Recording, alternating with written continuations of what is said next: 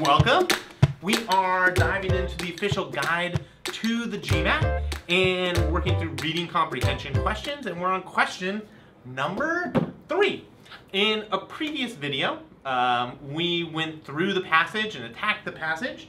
Um, as a refresher of what the passage is all about, um, I wrote down the main idea, structure, and tone here. So the main idea is the passage about two ideas or two theories of schooling. The structure, uh, first paragraph is the introduction. Second paragraph is about the theory A or idea A. Uh, paragraph number three is about the critics of theory A and then introduces, introduces excuse me, theory B, which talks about the confusion effect. And the fourth paragraph is all about theory B. Uh, and then the tone, it's balanced-ish.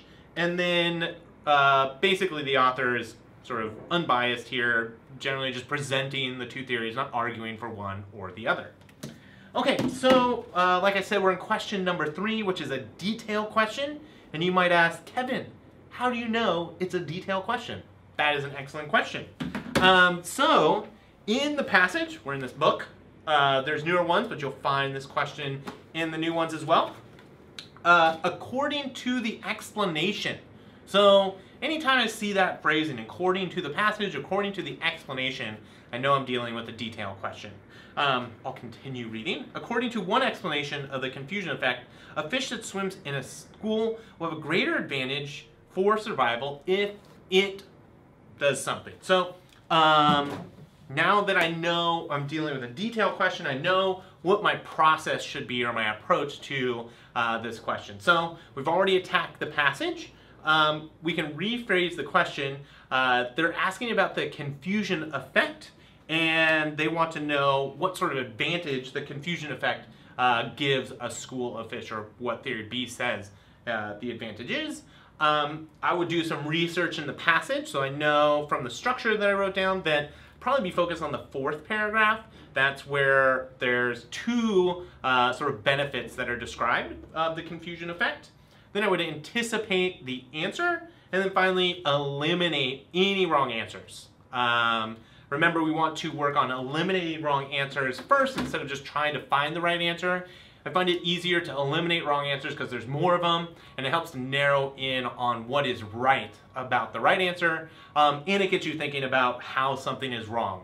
Um, sometimes there's only going to be one small thing in an answer choice that's wrong and you need to find that one small thing to, in order to eliminate it. Um, and that helps you to really uh, confirm the right answer. If you can't find anything wrong with it, then you know you found the right answer. So uh, there are common wrong answers in detailed questions. One is an inference, where the um, answer choice synthesizes information from two different places in the passage. Another one is distortion, where it takes information from the passage and twists it. Um, and then finally, uh, anytime you see an answer choice that just adds new information, even if it's on the same topic, that's going to be wrong. There has to be something in the passage that says uh, what the answer choice is saying. If you don't find that, then it's going to be wrong answer. Okay, let's take a look at our answer choices. So answer choice A says that um, it, uh, so remember we're talking about theory B, and it's talking about being visible at 200 meters. This is a perfect example of a distortion answer choice because this description is of theory A, not theory B. So they want to make sure that you are searching in the right part of the passage and not just finding information that's in the passage. You have to know what the question is asking. So I know I'm looking for theory B information. That was theory A. Answer choice B uh, talks about the fish being in the front of the group or in the rear of the group. There's nothing in the passage that talks about the placement of the fish in the schooling group. So I know this is new information and wrong. Uh, answer choice C talks about whether it's a small group or a large group. Again, the passage doesn't go into the size of the schooling group.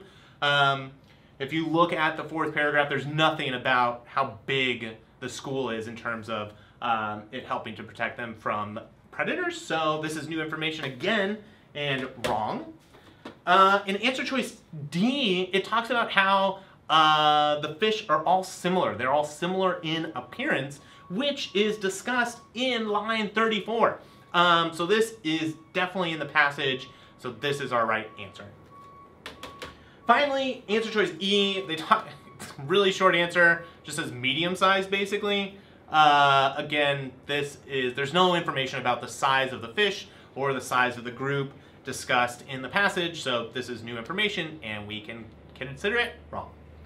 All right, that is it. If you have any questions, please feel free to leave comments down below. Um, and if you need more help with the GMAT, head over to magoosh.com and we'd be happy to help. All right, be excellent to the universe.